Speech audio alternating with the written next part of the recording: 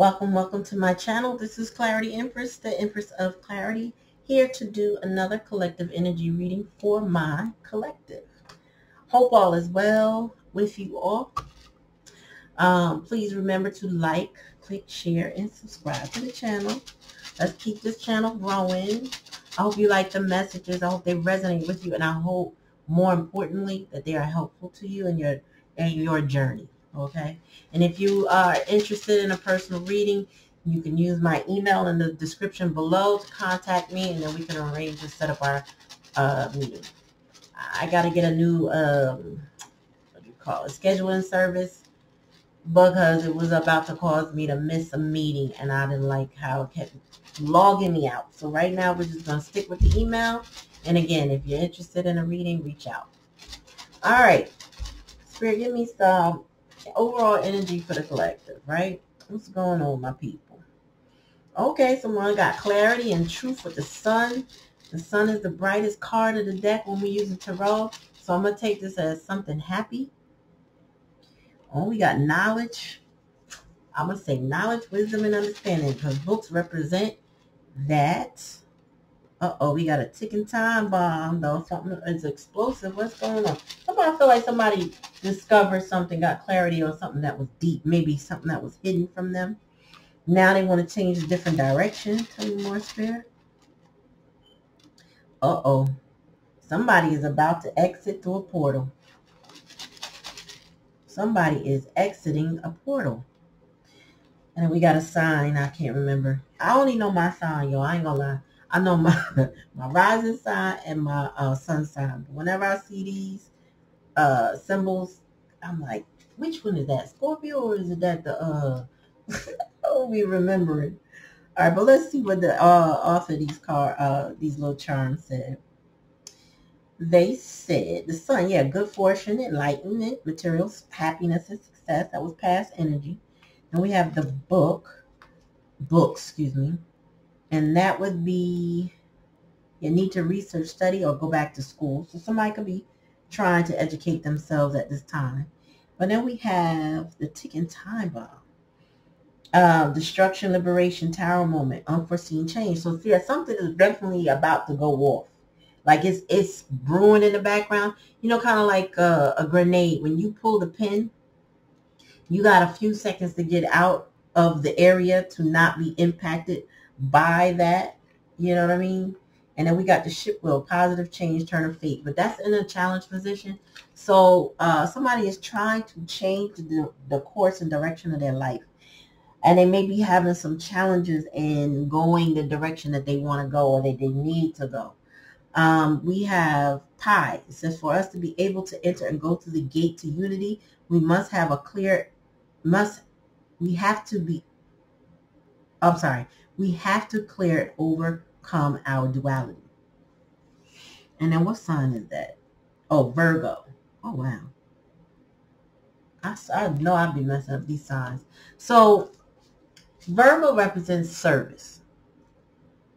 Somebody needs to be in service to others. Maybe that's where they shine or maybe being in service to others will ground them in their reality. Um, I don't know, but something's about to change and I feel like, oh, I got it. Spirit said, um, someone got some light shine on them of some information that was hidden and is causing them to want to destroy something that currently exists. Now, this could be a relationship. Uh, this could be a job. And I don't mean like going there as mass shooter. I'm, I mean like maybe they want to quit the job. If it's a job, they, just need, you know what, I can't do this anymore. Maybe they're getting passed over, over for promotions and it became clear that they weren't going to get the promotion. Somebody's like, I'm done. If this is a relationship, a romantic one, I'm done. If this is a family ship, somebody's like, I'm getting out of here, I'm done. Or you getting out of here, something like that. Done. Right? And then they want to change. But the change is not going to happen as easy or in the way they thought it should, right?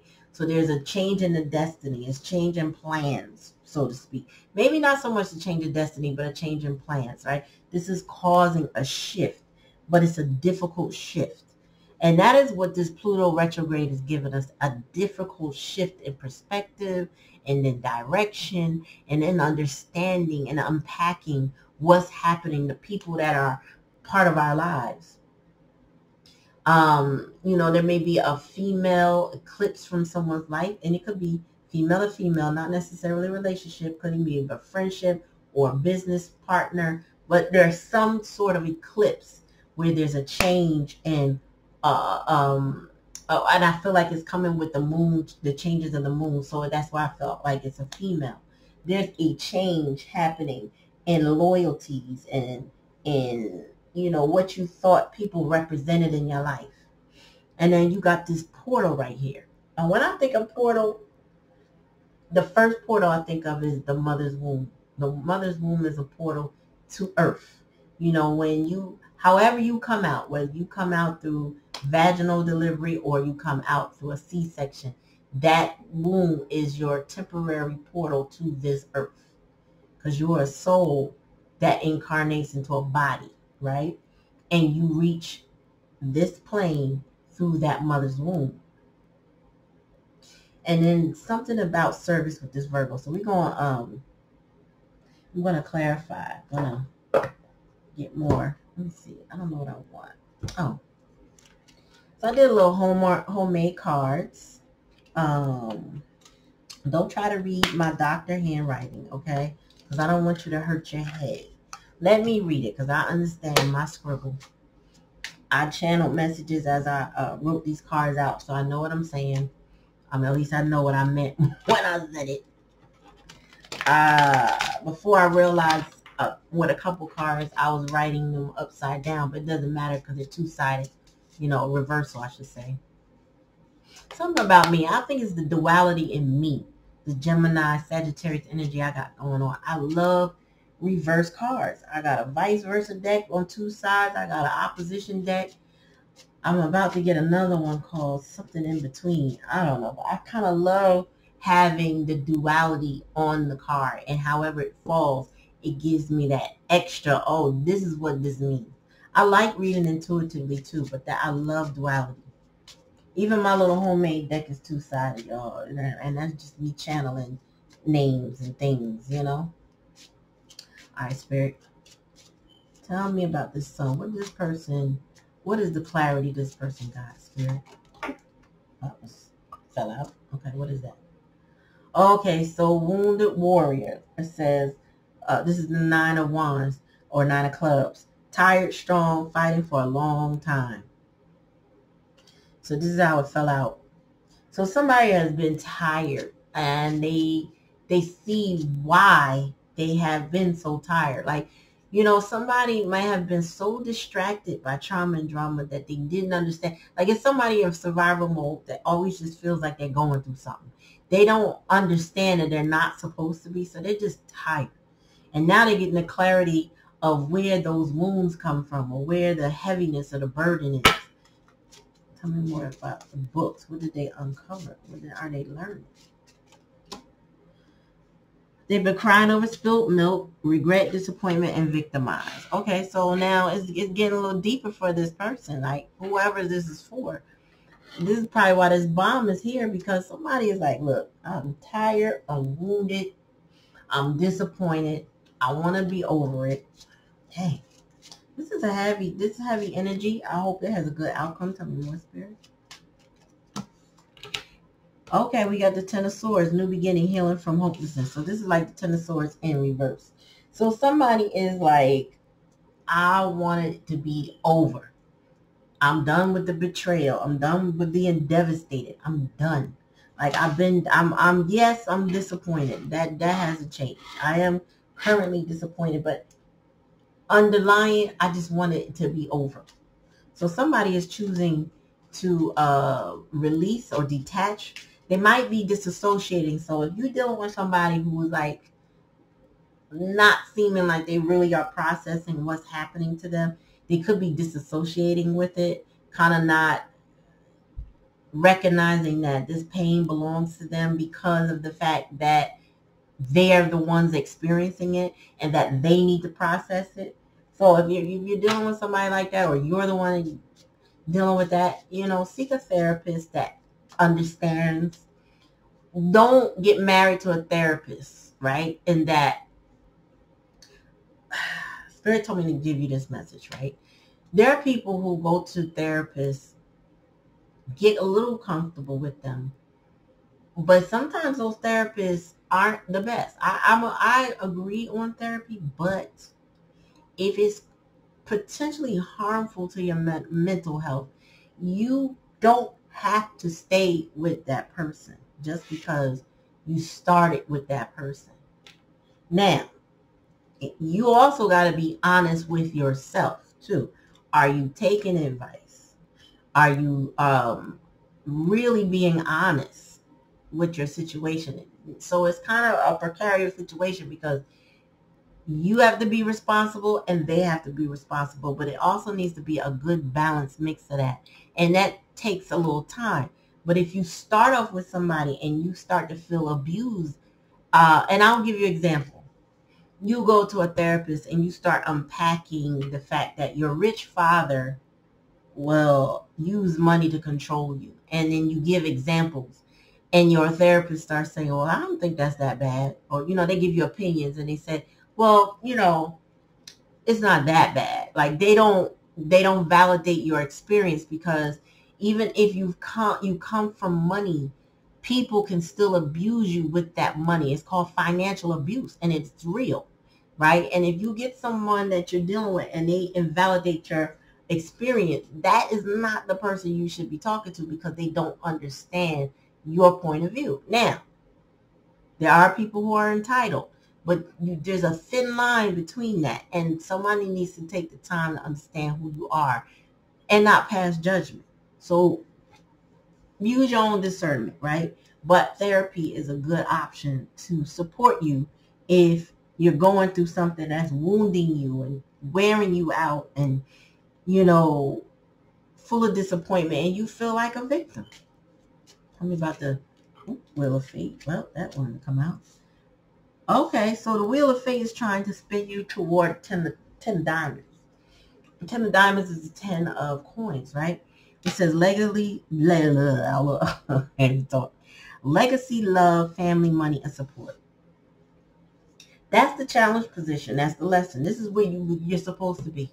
Moving away from that. Ending whatever that victimized state was and moving to something more harmonious, right? But there's the challenge, right? How do you do that? I don't know if this situation caused you so many burdens that you feel like you have attachments and entanglements. You might, but you need some help unpacking. That's what I'm saying.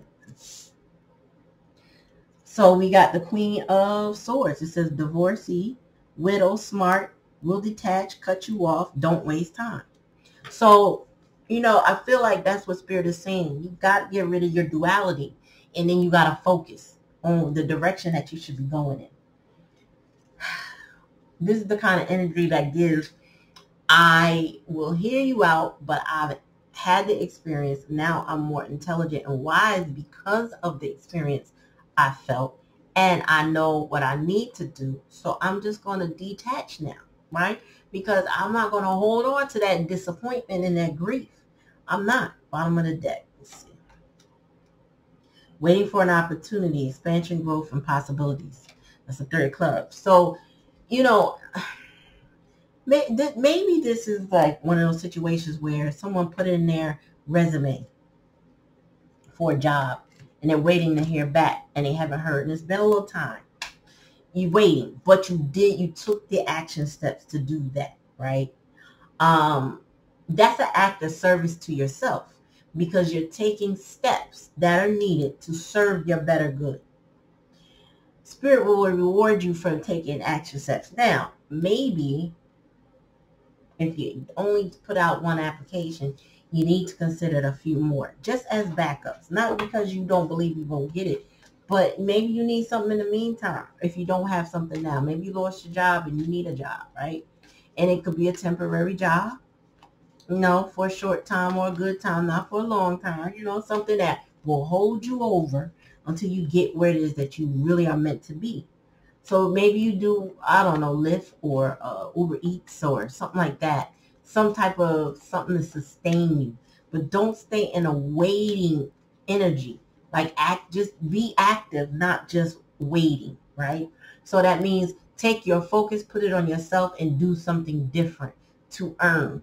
Go online and find out what jobs you could do remote if you can't drive, if you don't have transportation. Or go on, if you have a license, go on the Turo app and if you're old enough, rent a car and then drive, you know, uh, take people out and drive them or whatever. You know what I mean? Like there's money on the table.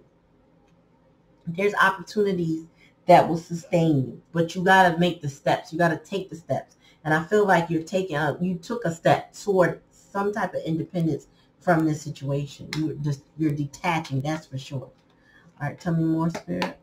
Tell me about this wounded war energy.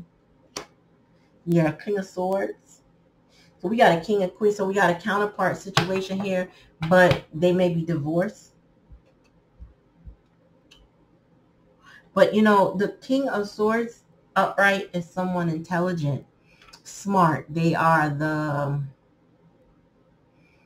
they're the judge, they're the, the police, they they're law, right? They may represent law enforcement. This is also a detached individual because they are head over heart, meaning they they're here to do their duty and they're not caught up in their emotions. They don't operate from emotions. They operate from their headspace mostly.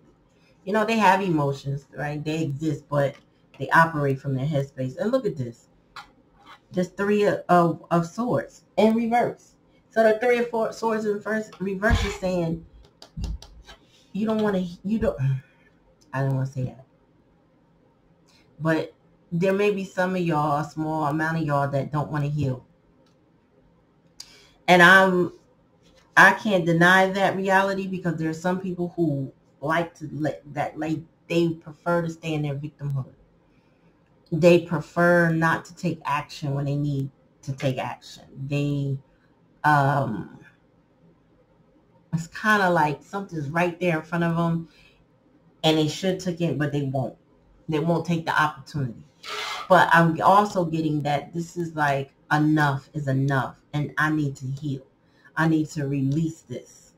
I need to let this go. I need to mend my heart now. And um, Three of Swords in reverse gives me um, I'm coming out of that major loss and disappointment energy. Oops. Oh, I got two cards here. So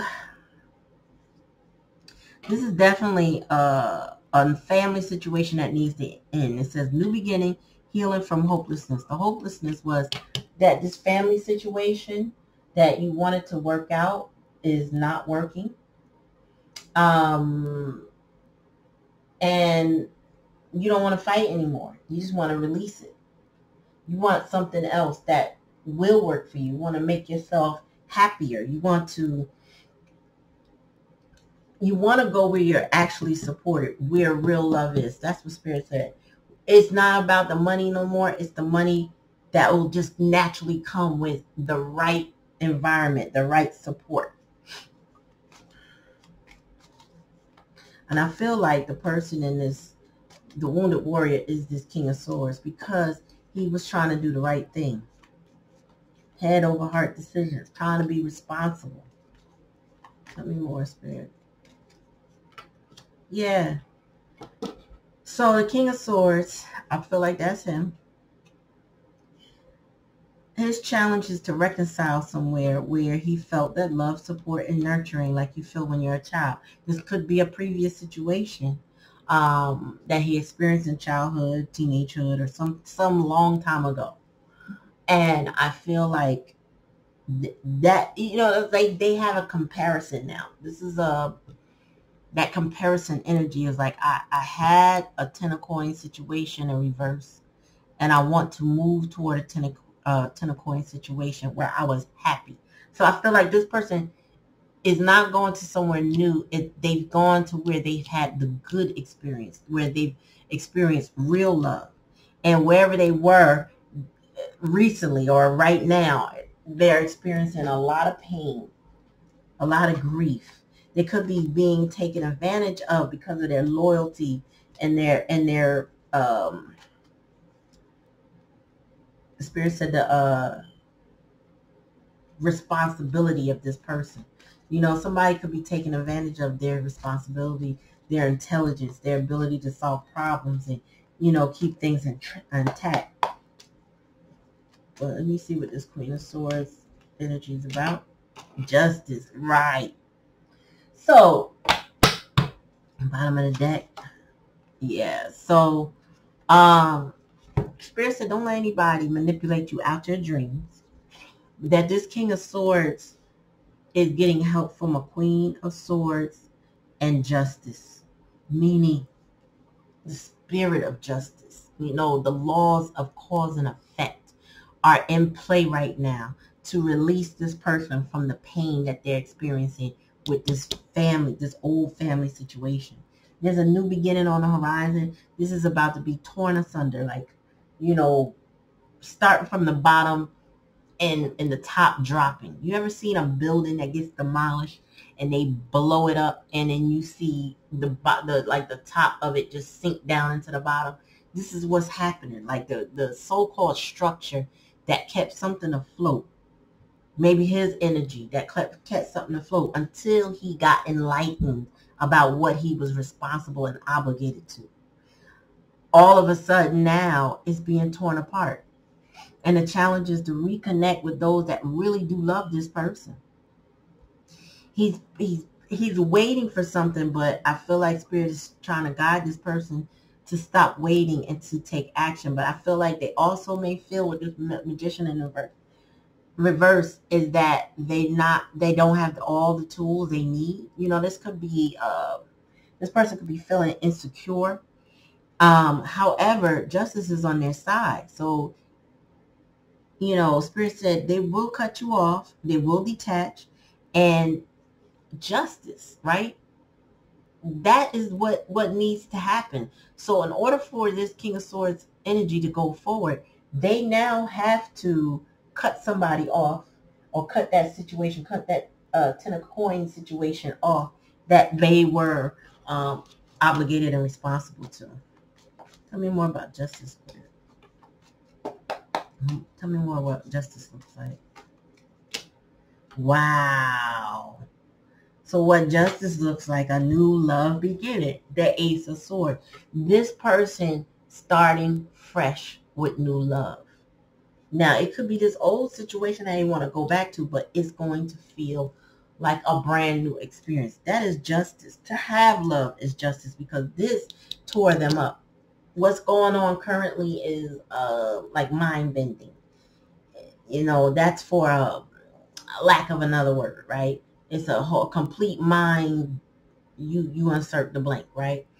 And this person said, you know what? I've been praying Spirit, bless me. I need love in my life. Maybe they were materialistic in the past. Maybe they were competitive in the past. They don't want to be that anymore. They don't want to make just head over heart decisions anymore. They want love in their life because whatever they chose, uh, really tore them up. Wounded warrior. They learned a lot. This is lessons. They learned lessons in their in the love life. They learned that whoever they said there was family, to them, or maybe it wasn't even blood family, we're not family. You know, this this person learned and they had something else. So this, trust me when I tell you this is not new. Somebody had the ability to compare and make a choice. I don't see the lover's card here, but it don't need to be here for me to know they have the ability with the justice card and the ace of cups. There's a choice and someone is choosing love now.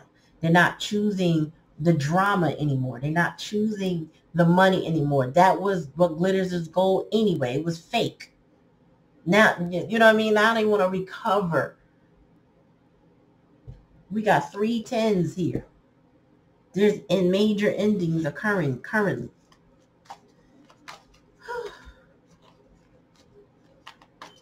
Tell me more about this uh, three source spirit. Yeah. This five of cups, three, uh, uh, three of swords, and reverse energy had this person feeling like they couldn't, they had no direction to work on themselves.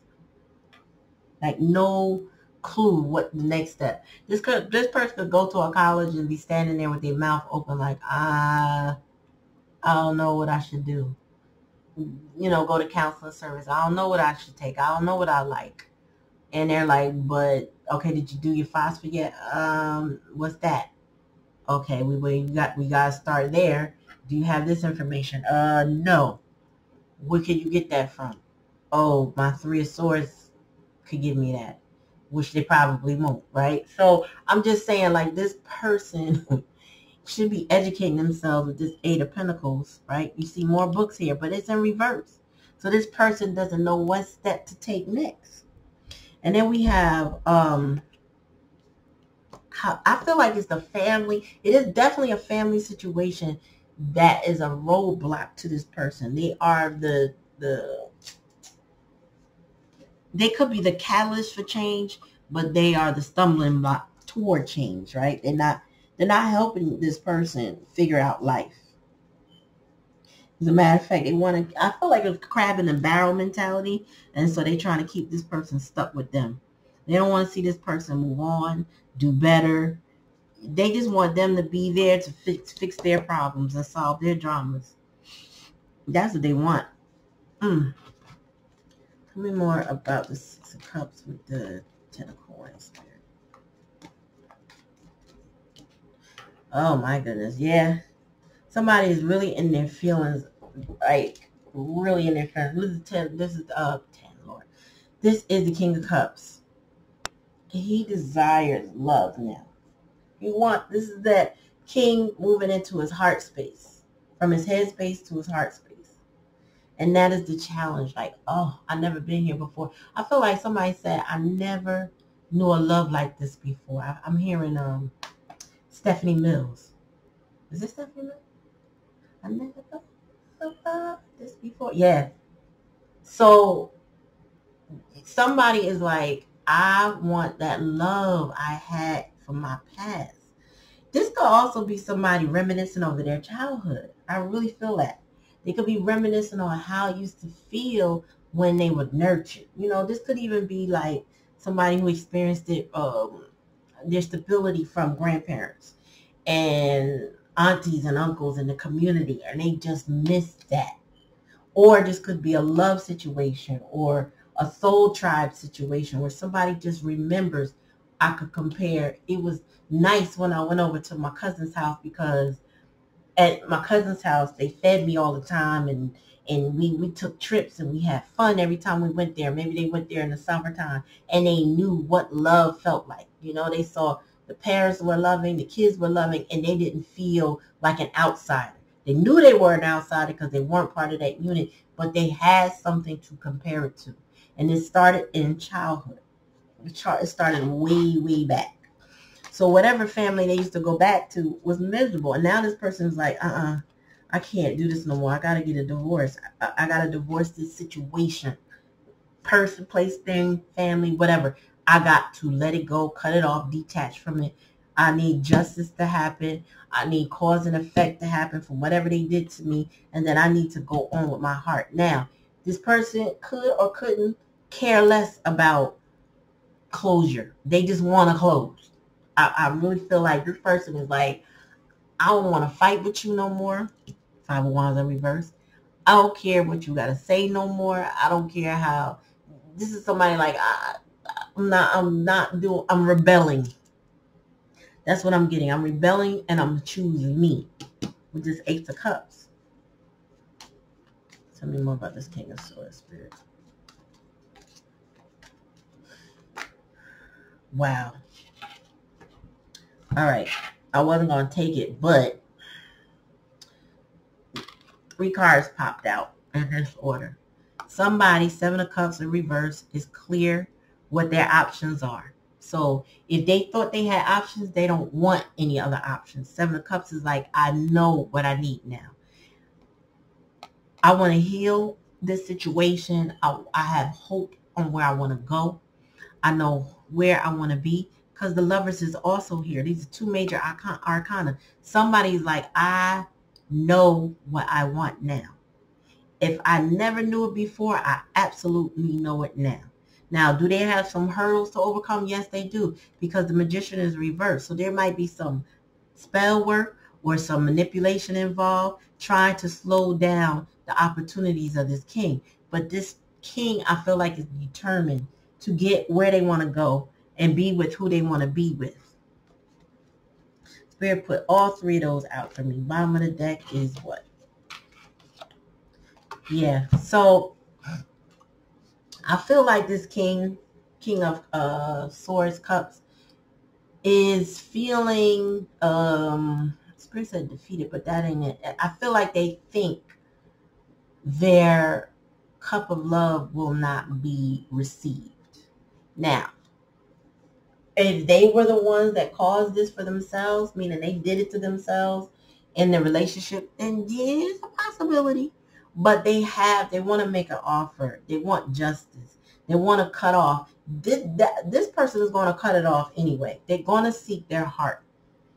That i just feel like they're a little insecure right now about if their love offer will be received. They're moody uh, they may be in their head and they have a script in their head that is not conducive to um, you know it's kind of like if you have a family room right, and you grow up with somebody who constantly puts you down, either in, in front of people or behind the scenes, you just hear that you're not good enough uh, trope in your head over and over again. This person's self-esteem is shot. I don't care what they look like. I don't care what they act like. I don't care if they got all kind of bravado and I'm the man is or I'm the woman. Take it how it resonates. But inside deep, they have these deep-seated insecurities that block them from their joy and their happiness. But I feel like with the help of justice, with the help of spirit, they're going to overcome that and be able to present an offer of love because now they want to cut off what doesn't serve them and then all and then stand in love because now they know what they want maybe they didn't know before but they know now